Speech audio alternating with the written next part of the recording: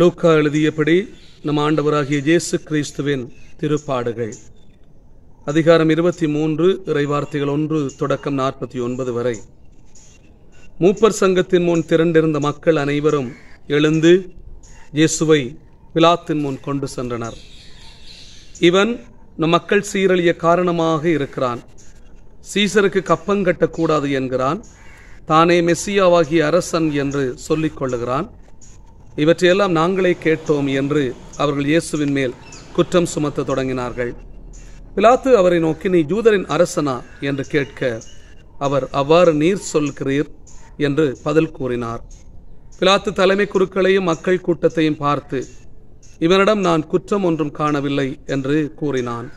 ஆனால் அவர்கள் இவன் கலிலியா தொடங்கி ஜூதையா வரை இவ்விடம் முழுவதிலும் மக்களுக்கு கற்பித்து அவர்களை தூண்டி விடுகிறான்.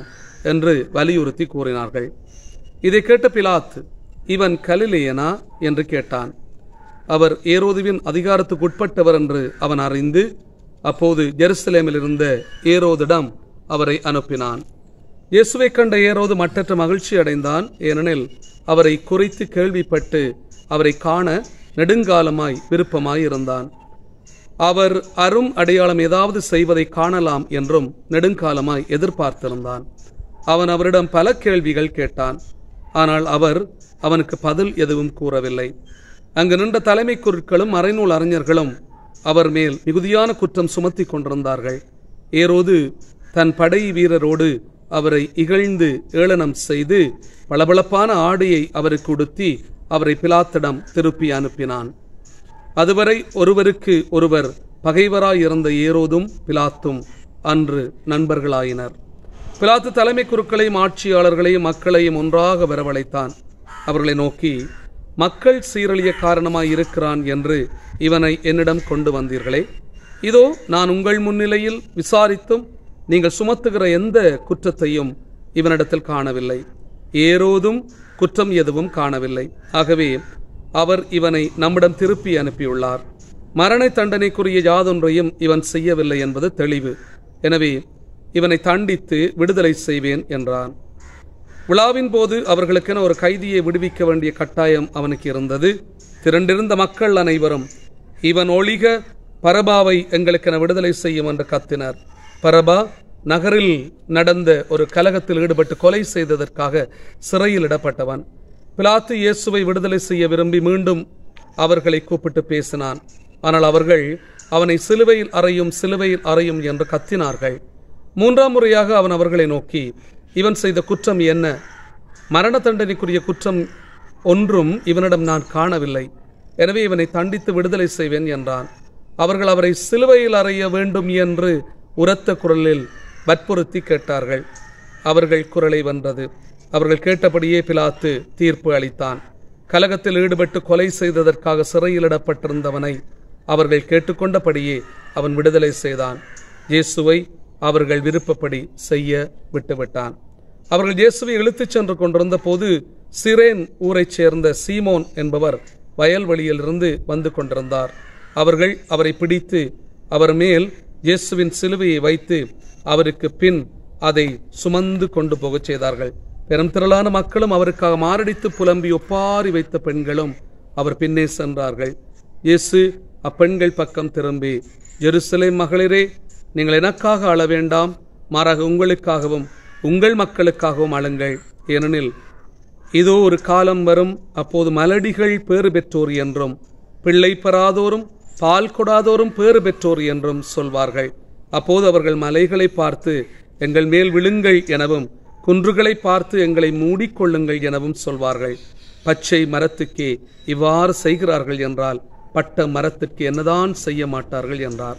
வேறு இரண்டு குற்றவாளிகளையும் மரண தண்டனைக்காக அவர்கள் அவரோடு கொண்டு சென்றார்கள். மண்டையோடு எனப்படும் இடத்திற்கு வந்ததும் அங்கே அவரையும் வலப்புறம் ஒருவனும் இடப்புறம் ஒருவருமாக அக்குற்றவாளிகளையும் அவர்கள் சிலுவைகளில் அறைந்தார்கள். அப்போது இயேசு தந்தையே இவர்களை மன்னியும் ஏனெனில் தாங்கள் செய்வது என்னவென்று இவர்களுக்கு தெரியவில்லை என்று சொன்னார். அவர்கள் அவருடைய ஆடைகளை குலுக்கல் முறையிலே பங்கிட்டு கொண்டார்கள். மக்கள் இவற்றை பார்த்து கொண்டு நின்றார்கள்.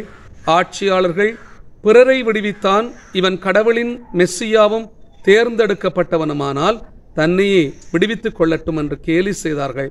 படைவீரர் அவரிடம் வந்து புளித்த திராட்சை ரசத்தை கொடுத்து நீ ஜூதர்களின் அரசனானால் உன்னை காப்பாற்றிக்கொள் என்று எள்ளி நகையாடினார். இவன் ஜூதரின் அரசன் என்று அவரது சிலுவையின் மேல் எழுதி வைக்கப்பட்டிருந்தது. சிலுவையில் தொங்கிக் கொண்டிருந்த குற்றவாளிகளில் ஒருவன் நீ மெஸ்ஸியா தானே? உன்னையும் எங்களையும் காப்பாற்று என்று அவரை பழித்துரைத்தான். ஆனால் மற்றவன் அவரை கடிந்து கொண்டு கடவுளுக்கு நீ அஞ்சுவதில்லையா? நீயும் அதே தீர்ப்புக்குத்தானே உள்ளாகி இருக்கிறாய். நாம் தண்டிக்கப்படுவது முறையே. நாம் செயல்களுக்கேற்ற தண்டனையை நாம் பெறுகிறோம். இவர் ஒரு குற்றமும் செய்யவில்லையே என்று பதில் உரைத்தான். பின்பு அவன் இயேசுவே நீர் ஆட்சியுரிமை பெற்று வரும்போது என்னை நினைவில் கொள்ளும் என்றான்.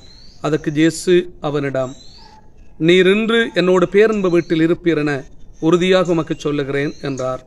ஏறக்குறைய நண்பர்கள் பன்னிரண்டு மணி முதல் பிற்பகல் மூன்று மணி வரை நாடெங்கும் இருள் உண்டாயிற்று. கதிரவன் ஒளி கொடுக்கவில்லை. திருக்கோவிலின் திரை நடுவில் கிழிந்தது. தந்தையே உம் கையில் என் உயிரை ஒப்படைக்கிறேன் என்று இயேசு உரத்த குரலில் கூறி உயிர் துறந்தார்.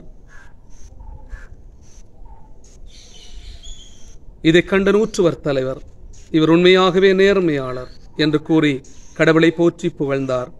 இக்காட்சியை காண கூடி வந்திருந்த மக்கள் அனைவரும் நிகழ்ந்தவற்றைக் கண்டு மார்பில் அடித்துக் கொண்டு திரும்பிச் சென்றனர்.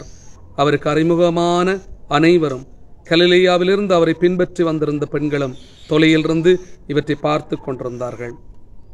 இயேசுவலை அன்புமிக்க சகோதர சகோதரிகளே என்று குருத்து ஞாயிறு.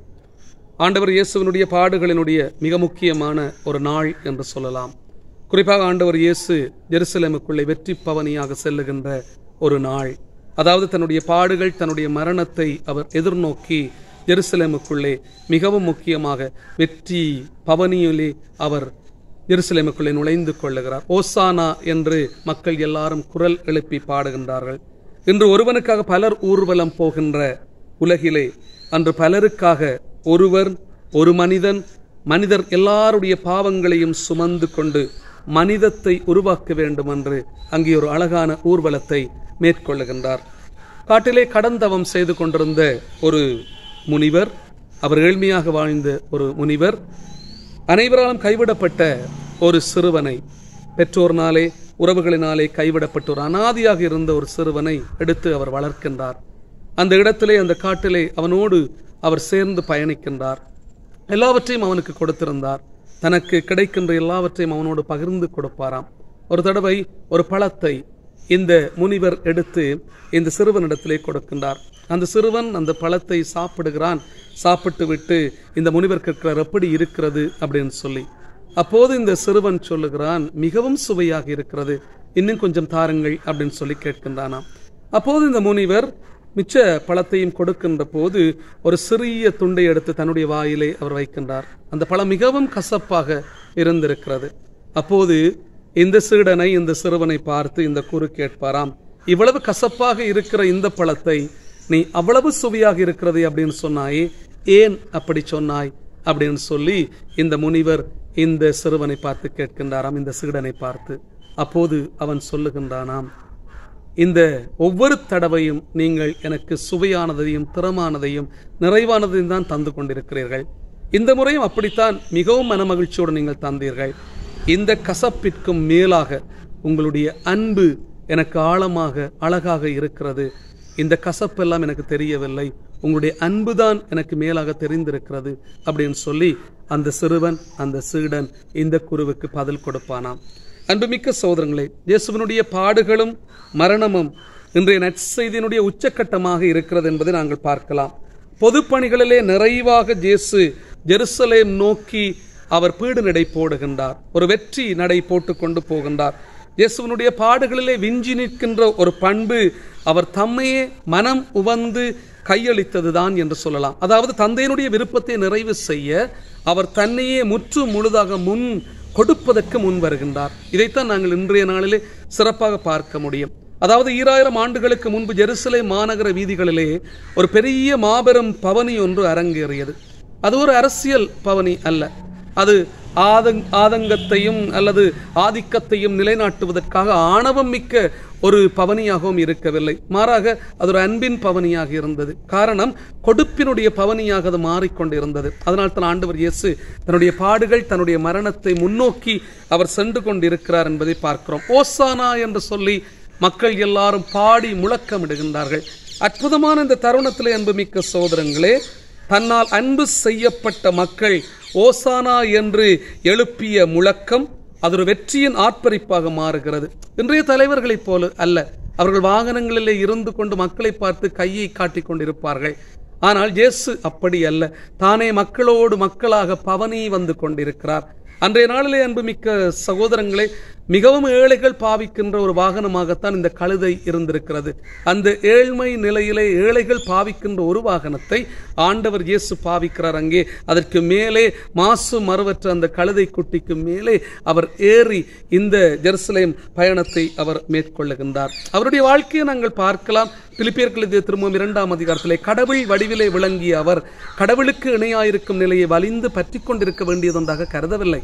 மாறாக தம்மையே வெறுமையாக்கி அடிமையின் வடிவியற்று மனிதருக்கொப்பானார். மனித உருவில் தோன்றி சாவி ஏற்கின்ற அளவுக்கு அதுவும் சிலுவை சாவியை ஏற்கின்ற அளவுக்கு கீழ்ப்படிந்து தம்மையை தாழ்த்தி கொண்டார் என்று பார்க்கிறோம். அன்புமிக்க சோதரங்களே ஜெருசலே நோக்கி ஜேசு சென்ற பயணம் நாடுகளை வென்று ரதத்திலே போகின்ற ஊர்வலம் அல்ல. மாறாக பாவத்தை எல்லாம் வென்று பாசத்தை உருவாக்குகின்ற ஒரு ஊர்வலம். பாதம் தடுமாறினாலும் லட்சியம் தோற்காது என்பதை ஆண்டவர் இயேசு தன்னுடைய உள்ளத்திலே சிறப்பாக அவர் இருத்தி அவர் தன்னுடைய வாழ்க்கையிலே பாதை மாறாத அந்த அற்புதமான பயணமாக அவருடைய உடல் தளர்ந்தாலும் உள்ளம் தளராமல் அவர் பயணம் செய்து கொண்டிருக்கிறார். இவருடைய லட்சிய பயணம் அன்பு மிக்க சோதரங்களே தந்தையினுடைய விருப்பத்தை நிறைவேற்றுவதே அதை என்னுடைய தந்தையினுடைய அலுவல்களில் ஈடுபட்டிருப்பதே என்னுடைய பணி அதற்காகவே நான் வந்திருக்கிறேன் என்று சொல்லுவார் ஆண்டவர் இயேசு. என்னை அனுப்பியவருடைய விருப்பத்தை நிறைவேற்றுவதே என்னுடைய உணவு என்று சொல்லி ஆண்டவர் தன்னை வெளிப்படுத்துவார். இயேசு தன்னையே அழித்துக் கொள்ளும் மனிதனாக இருட்டுக்குள்ளே வெளிச்சம் தேடும் மனிதனாக புதிய பாதை உருவாக்கும் மனிதனாக மீட்பை தரும் மனிதனாக அவருடைய பயணம் அமைந்திருக்கிறது. அதாவது சோகத்துக்கு பின்னால் ஒரு சுகம் இருக்கிறது. துன்பத்துக்கு பின்னால் ஒரு இன்பம் இருக்கிறது. இருட்டுக்கு பின்னாலே ஒரு வெளிச்சம் இருக்கிறது ஒளி இருக்கிறது. வீழ்ச்சிக்கு பின்னாலே ஒரு எழுச்சி இருக்கிறது பாடுகளுக்கு பின்னாலே உயிர்ப்பு இருக்கிறது. இதை இன்றைய நாளிலே நாங்கள் ஜெருசலேம் பயணம் நம்மை சிந்திக்க அழைத்து நிற்கின்றது. இயேசு ஆள் பலத்தையோ அறிவுத்திறனையோ ஆயுதமாக கொள்ளாமல் தன்னுடைய தந்தையை மட்டுமே அவர் ஆதாயமாக்கிக் கொள்ளுகின்றார்.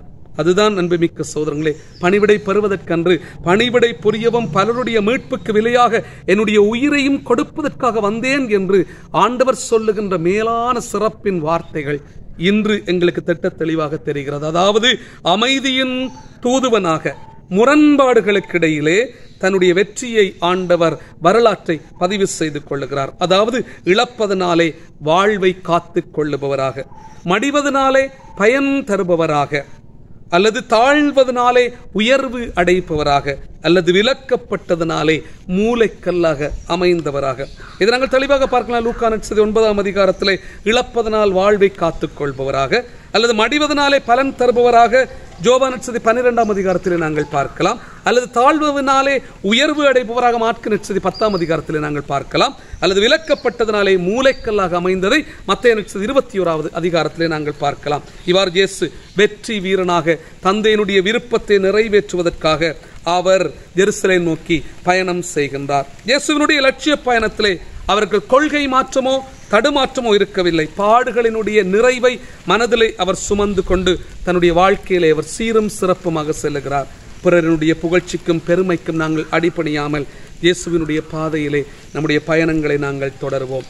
குறித்து ஞாயிறு இயேசுவை போற்றி புகழ்ந்து ஓசானா பாடி அவருக்கு புகழ் சாற்றும் விழா என்று மட்டும் நாம் கருதக்கூடாது. அவருடைய லட்சிய கனவுகளை அவருடைய கொள்கைகளை நனவாக்க உறுதி கொள்வதிலும் அதற்காக உழைப்பதிலும் தான் இந்த குருத்து ஞாயிறு அர்த்தம் பெறுகின்றது. எனவே அன்புமிக்க சோதரங்களே அருமையான இந்த நாளிலே ஆண்டவர் இயேசோடு நாங்களும் பயணிப்போம்.